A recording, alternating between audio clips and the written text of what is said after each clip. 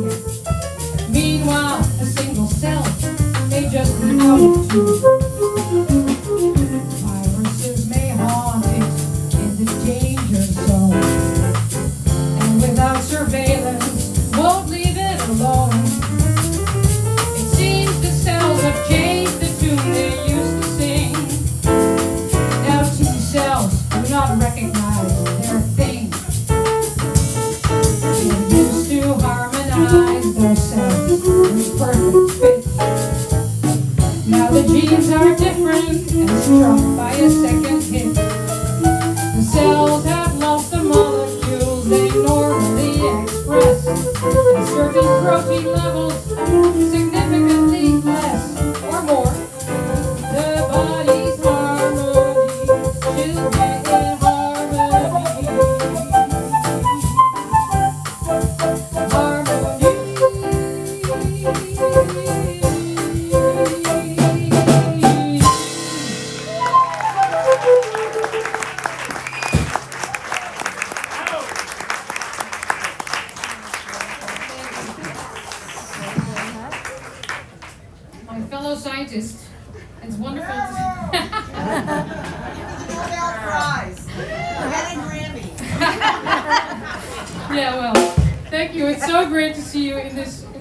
scientific musical setting, but you know, it's, it's all a mix, isn't it?